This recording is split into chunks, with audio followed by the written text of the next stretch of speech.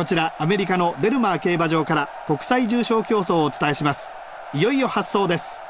タートしました。ポンと飛び出したのはマウントキャップ。綺麗なスタートを切りました。サッカージョンヌ前に行きそうです。ロングティファニーそれに続いています。さらにはマウントキャップ。3番ギーンランドローマ。その後ろ。アドラーブル。どうやら後方からの競馬。先頭に戻りましょう。マウントキャップ。先手を取りました。すぐ後ろにジャスミン・メーム。赤の帽子。ギーンランドローマ。その後ろ。すぐ隣にアリスベル。トレジャータワー。そのうちに続いています。その外にナチュラルガバナー。その外からダリアズドリーマー。その外にロングティファニー。その外から。サッカージョンヌ。内からは。ハニーアーチ。サッカーハット。すぐ後ろ。ウィナーズエリザベス。それに続いています。アドラーブル。最高峰。ここからどういう競馬を見せるでしょうか。各馬がターフの上を駆け抜けていきます。もう一度先頭から。ここで各馬第3コーナーのカーブに差し掛かりました。さあ先頭はまだ。1番マウントキャップ。ダリアズドリーマー。ほとんど差がありません。ジャスミン・メーム。3番手。アドラーブル。いい位置鞍上のゴーサインに応えるか。最終コーナーをカーブして直線コースに入りました。マウントキャップ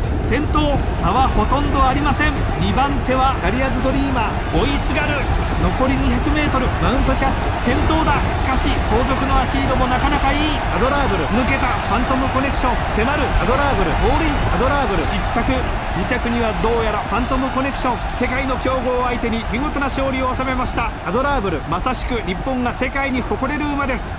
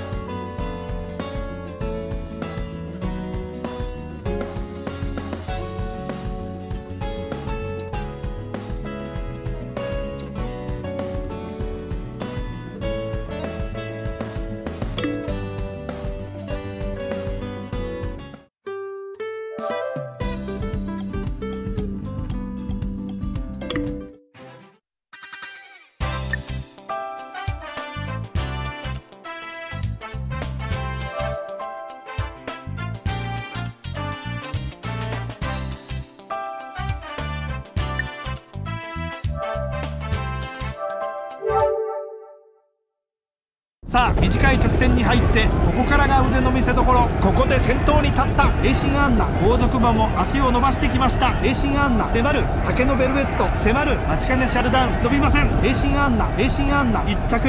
2着にはどうやら竹のベルベット。見事に勝ちました。エーシンアンナ。待ちかねシャルダウン。敗れました。これは掲示板までです。